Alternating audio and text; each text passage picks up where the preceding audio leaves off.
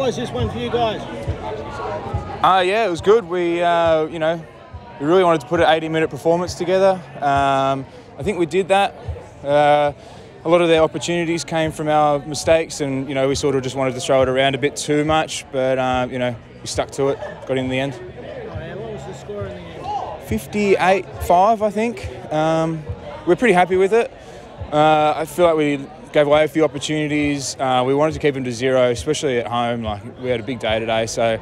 Um, but you know, credit to them, they stuck to it and yeah, put a try on the board. So what's the what's the uh, special event today? Uh, we've got one of our major sponsors hosting uh, a personal event.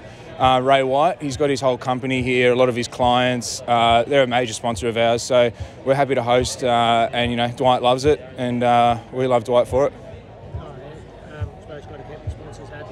Oh, absolutely, absolutely. Like at the end of the day, that's what keeps us running, and you know, we can come out and play footy, and you know, sponsors help us with that. So Well, 58? That's pretty decent. Uh, yeah, yeah, we're happy with it. We're definitely happy with it. Um, Maroochydore did well to uh, you know keep us out.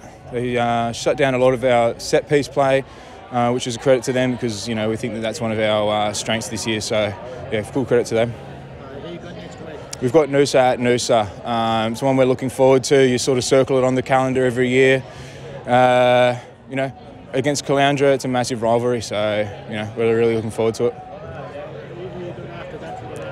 Uh, then we've got Uni, Caboolture, and Wynnum to finish the run. So, you know, all those guys can be in the semi-finals. So from now on, we feel like we're playing semis footy. Uh, what we put out on the paddocks, what we're going to get uh, come the business end. Yeah, keep showing those other teams what you can do before you hit them up in the final. Yeah, that's right. Yeah, you know, you don't want to show all your cards, but you know, you want to show that you can put put, a forward uh, a full 80-minute performance. Who stood out for you today? Uh, our new debutant Quinn, uh, he played on the wing. Again, like last time, Pat, he's a 17 year old. He's playing A grade footy and he had an outstanding game. Um, our front row did awesome. Uh, set piece was great. And, uh, you know, those guys just really step up. And so getting a few of the um, guys who would normally be playing Colts in through the A grade. Yeah, that's right. Yeah, that's right. Um, you know, and we're happy, we're happy with uh, what we've got looking forward to in the future. Any guys out with um, rep duties?